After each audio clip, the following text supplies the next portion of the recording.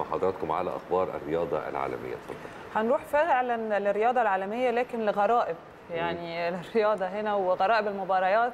المره دي هنروح لنادي كونفينكا وده بالدوري طبعا البرازيلي. وقع بطلها لاعب اسمه نيتو بيرولا خلال مواجهة فريقه ضد فريق آخر في الدقيقة تحديدا ال 39 من الشوط الثاني.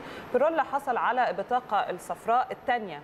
فبالتالي في بطاقة حمراء طرد. هو أدرك بقى وقتها إن هو هيطرد فراح يضرب الحكم يعني ما سكتش راح يضرب الحكم واعترض على العقوبة. طيب هيجي تقول لي كده الكلام خلص؟ لا الكلام برده ما خلص. اللاعب راح للحكم مرة ثانية وحاول إن هو يشتبك معاه لفظيا.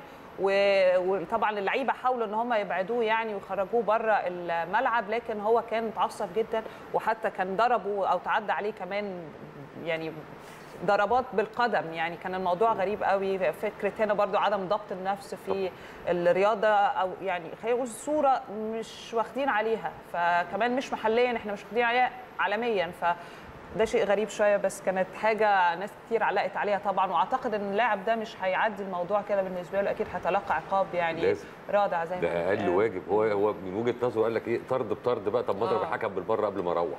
طب ما حدش يعمل كده فعلا وأكيد طبعا لازم هيكون فيه عقوبة رادعة.